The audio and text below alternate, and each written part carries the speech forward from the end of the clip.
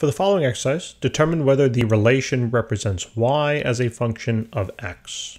Alright, so in order to determine whether y is a function of x, we first have to solve the equation for y.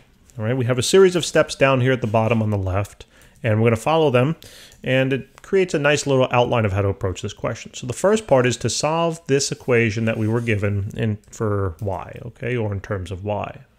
So let's write it down. So we got 3x squared plus y is equal to 14. To solve this thing for y, we just have to then subtract the 3x squared from both sides. And now that simply gives us the formula of y is equal to negative 3x squared plus 14. The reason why we like to do this is because now I want to take this equation and graph it. All right. So you can do that in your calculator if you like. That's going to be step two. All right, is to graph the uh, so graph the function.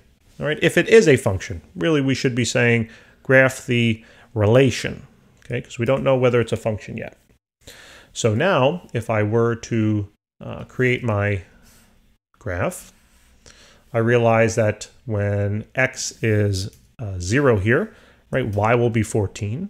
So I know that this location up here should be about uh, 14. And it also has a negative, it's a negative parabola, right? So it's going to look just something like this, approximately. All right, and I'll make that a little nicer. So there we go. So the graph looks something like this. Okay, so now after we draw the graph, or we identify what the graph now looks like, we are now able to conduct our vertical line test. All right, so the vertical line test says that if a vertical line does not intersect the graph more than once, then the graph is a function. So what you do is just draw a couple of vertical lines, see where it intersects the graph. Only once right here, right? If I were to draw it over here, only once again. So no matter where I draw it, right? The vertical line is only going to intersect the graph once. It doesn't intersect it more than once.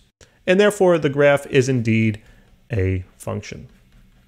So I can state definitively now that this relation that was given to us is indeed a function.